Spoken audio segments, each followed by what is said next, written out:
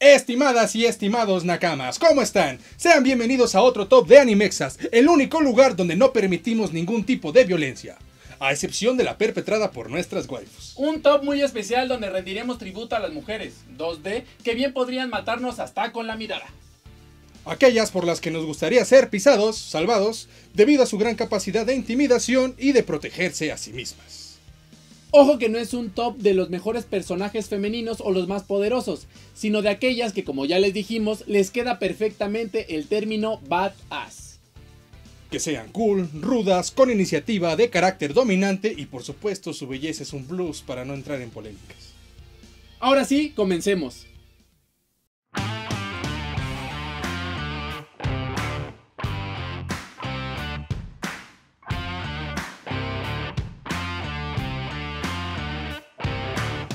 Iniciamos este top con una chica electrificante, en el sentido literal de la palabra. Mikoto Misaka, la apodada Railgun de Ciudad Academia, debido a su mayor habilidad especial que es el arrojar una moneda a tres veces la velocidad del sonido. Aunque también es capaz de crear rayos, usar habilidades de electromagnetismo, vuelo ocasional, poseer defensa telepática y crear barreras eléctricas, además de ser buena en el combate cuerpo a cuerpo y bastante atlética.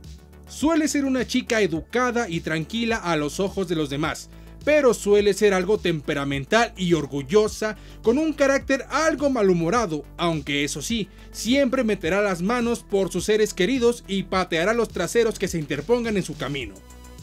Si le buscas una debilidad, pues tendrás que atraerla con cosas lindas e infantiles, de esa manera muestra su lado adorable y torpe, una sundere en su esplendor.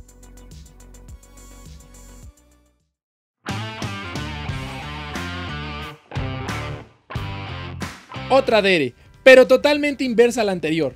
Yuno Gasai, una de las pelirrosas más conocidas del mundo del anime, dueña de uno de los temperamentos más dulces, por las buenas, y peligrosos, por las malas. Esta chica de 14 años es fundamental en la trama de Mirai Nikki, envuelta en un juego brutal de supervivencia donde está dispuesta a matar a sangre fría a quien se atreva a querer ponerle las manos encima a su amado Yuki, cuyo enamoramiento es más cercano a la obsesión desmedida. Esa dualidad de su personalidad la hace inofensiva a simple vista, pero bajo amenaza saca a la luz su lado más sanguinario y retorcido. Ella es por excelencia la representante de las yanderes. ¿Quién es el valiente que dice yo? Sí, como creí, están enfermos.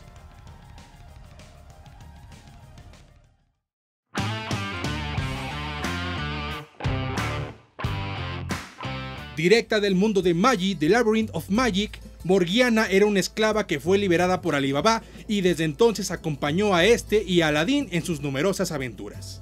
Debido a su antiguo trato como esclava suele ser muy introvertida y le cuesta mucho trabajo hablar con las personas, pero eso termina cuando se involucra en una batalla, pues su fuerza descomunal hace de ella una contrincante formidable para cualquiera que la rete.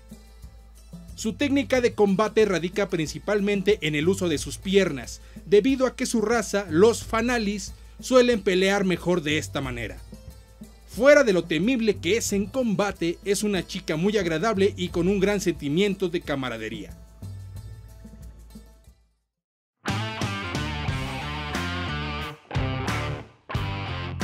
Una chica de mirada feroz e intimidante, Ryuko Matoi es la protagonista de Kill la Kill, quien ingresa a la academia Honouji en busca de algo que le pertenece y de igual manera al asesino de su padre.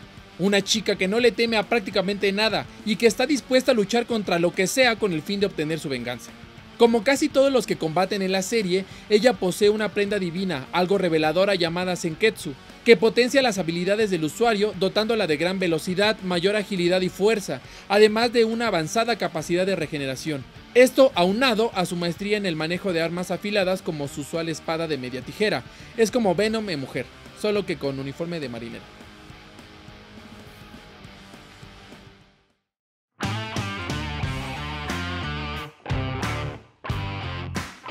Al igual que la chica anterior, tenemos otra que utiliza equipamientos de ropa como mejoras, solo que esta se ayuda de la magia.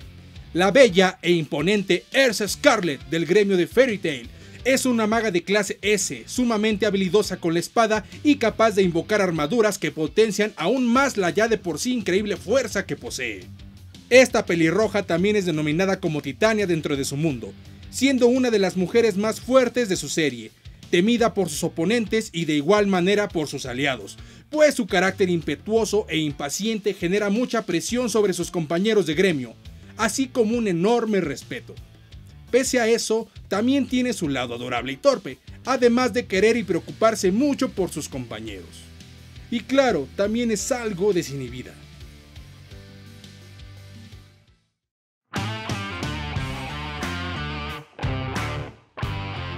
La apodada Reina de Hielo, la mayor general Olivier Mira Armstrong es la comandante en jefa encargada de la protección del norte de Amestris en el mundo de Full Metal Alchemist. Su filosofía radica en la supervivencia del más fuerte, por ello la dureza con la que trata a sus subordinados y sobre todo a sus enemigos.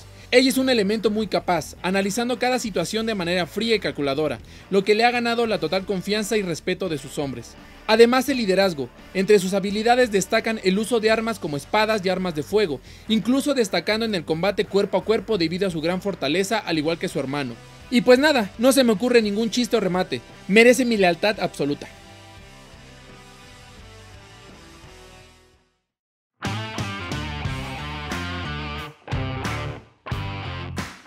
Una rubia más, una rubia de nuestras infancias. La poderosa androide número 18 cuyo nombre real es Lazuli. Al igual que su hermano, es una androide creada de una base humana por el Dr. Hero con el fin de acabar con la vida de Goku, cuya fuerza quedó comprobada al dejar en knockout a los guerreros Z, principalmente a Vegeta en la saga de Cell. Inicialmente de personalidad fría y sarcástica, llegó a evolucionar poco a poco hasta convertirse en un guerrero Z más y por supuesto la esposa de Krillin, la más grande hazaña que ha logrado el pelón en toda su vida. Además de ser increíblemente fuerte, al ser un androide no sufre pérdida de ki, por lo que podría decirse que tiene energía infinita.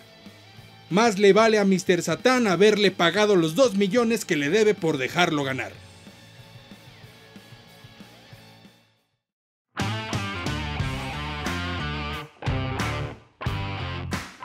Una chica extremadamente sensual y la mejor aliada que podríamos tener en un apocalipsis zombie. Saiko Busujima de High School of the Dead suele ser una senpai muy confiable para sus compañeros, mostrando un carácter serio y orgulloso, pero en el fondo posee un instinto asesino que no solo la hace enemiga natural de los zombies, sino que disfruta hacerlos papilla. Una sádica en toda regla, su principal arma es una boken y más tarde una katana real, la cual maneja con gran diligencia gracias a sus avanzadas habilidades en kendo, Así se los ponemos. Si no fuera por Psycho, ese grupo sobreviviente ya se hubiera ido al carajo desde hace un buen rato. Aunque bueno, al final la que se fue al carajo fue la serie. Pero Psycho, ella permanece en nuestros corazones.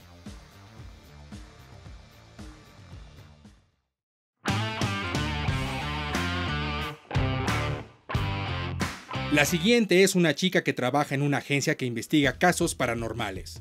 Shiki Ryuji, protagonista de Kara no Kyokai, también conocido como The Garden of Sinners.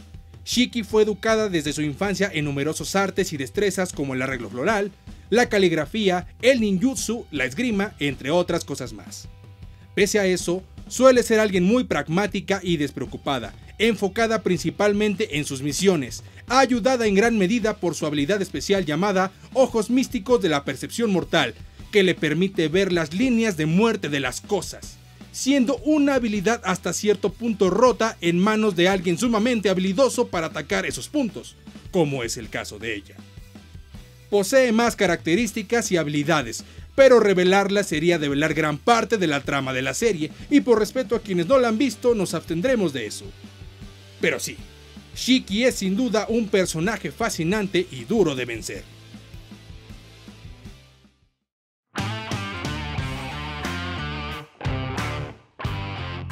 Una mujer que anda en sus 20, muy mal hablada, ruda, sarcástica y malhumorada. Rebecca Lee, conocida como Revi es una asesina a sueldo perteneciente al grupo de mercenarios Compañía Lagun. De ascendencia chino-estadounidense, Revi es alguien que debido a su pasado le cuesta mucho confiar en la gente, por lo que siempre se la pasa cuidándose la espalda y su visión del mundo es bastante agria y pesimista. Su filosofía se basa en el uso de fuerza bruta para resolver los problemas, sobre todo de balas, poseyendo una habilidad endemoniada de disparo y de esquive casi sobrehumano, utilizando de forma habitual un arma en cada mano. Suele pensar poco y lanzarse de lleno sobre el enemigo, lo que la hace muy impredecible y peligrosa. Revi de Black Lagoon es sin duda una de las chicas más cool y nihilistas que hay en el anime.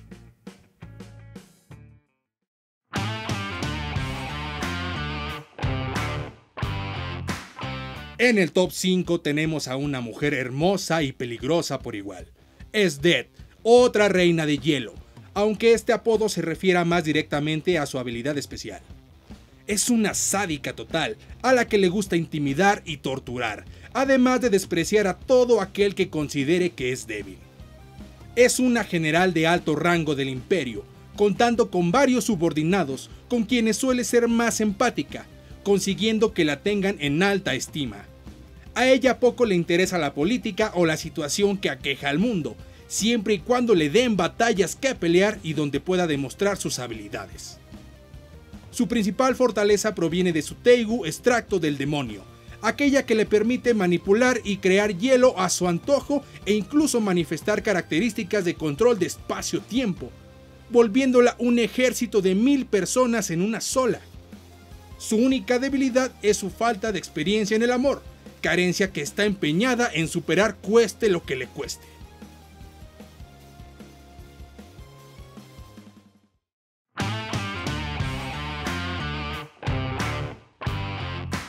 Casi entrando al podio no podía faltar la reina de las Underes, Asuka Langley, la piloto del EVA número 2 en el mundo apocalíptico de Evangelion. Malcriada, presumida, mal hablada, temperamental y muchas veces violenta, es una chica que si no le agradas hará lo posible por hacértelo saber cada vez que respires. Tiene un hambre de pelea enorme y una obsesión con ser la mejor. Con un pasado desafortunado es alguien que le cuesta abrirse con los demás, colocando una barrera entre ella y el mundo difícil de romper. Posee grandes habilidades de pilotaje de Evas, siendo el personaje que más enemigos simultáneos combatió en la historia, llevándose las palmas en la primera parte de la película The End of Evangelion. Sus debilidades son su exceso de confianza y su impulsividad. Es un personaje que intimida con la mirada y siempre te mirará hacia abajo. Amo a las Onderes. Antes de presentarles el top 3, vamos a presentarles algunas chicas igual de intimidantes y fuertes que estuvieron a punto de entrar en nuestro top.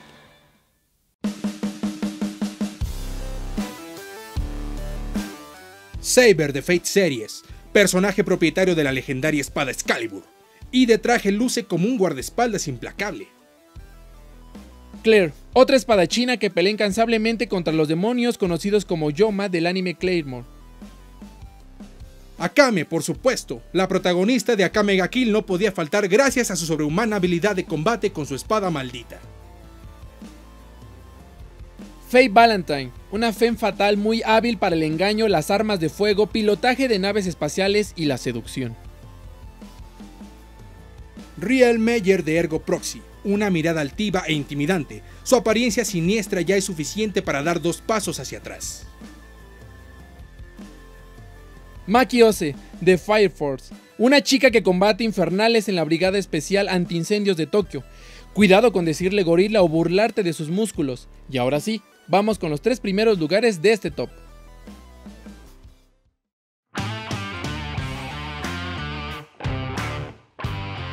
El lugar de bronce es para nada más y nada menos que Mikasa Ackerman de Shingeki no Kyoji.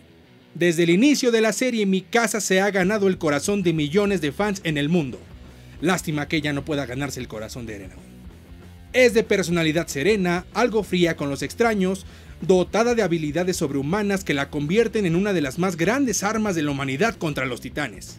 Suele perder la calma cada vez que el peligro acecha a Eren. Ahí es cuando muestra lo verdaderamente temible que puede llegar a ser como miembro del clan Ackerman. Alguien que jamás te gustaría tener de enemiga.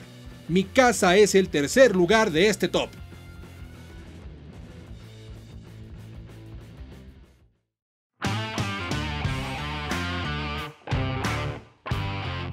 La plata es para la mayor Motoko Kusanagi de Ghost in the Shield, un personaje complejo que vive dentro de una atmósfera tecnológica y cyberpunk. Es una cyborg con presunta conciencia humana empleada del Escuadrón de Seguridad Pública de Japón. Cuenta con varias versiones tanto físicas como argumentales dependiendo de la obra donde aparezca, pero siempre resalta su imponente presencia, su intelecto y liderazgo. Está de más decir que debido a su composición física posee una fuerza por encima de la media, además de gran capacidad de combate cuerpo a cuerpo y con armas de fuego. Desde su personalidad hasta su apariencia nos habla de un personaje genial en todo el sentido de la palabra, que incluso Hollywood quiso emular hace algunos años en la piel de Scarlett Johansson, con resultados sumamente mediocres, pero ricolinos. Motoko Kusanagi es el segundo lugar de este top. Y ahora sí, viene el lugar de honor.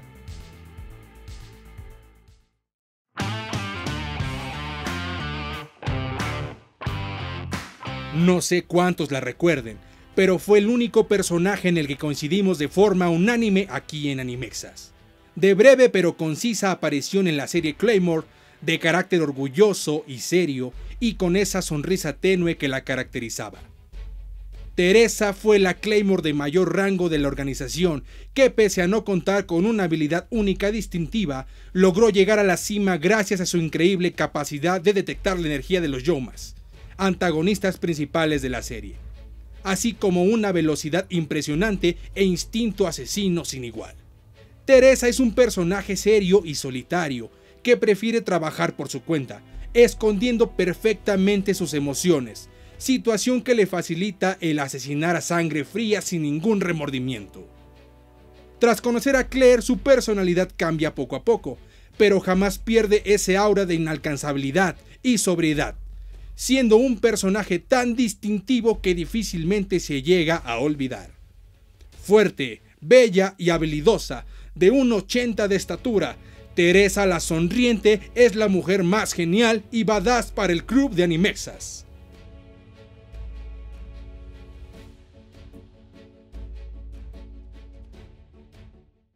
Terminamos con este emocionante top. Ahora sí, Pónganos su top de personajes femeninos badass en los comentarios. No olviden suscribirse si aún no lo hacen, darle manita arriba, dejar su comentario y seguirnos en nuestras redes sociales que se encuentran al final del video y en la descripción. Se despiden sus nakamas Carlos L y Ángel D. Y recuerden, ¡animémonos juntos!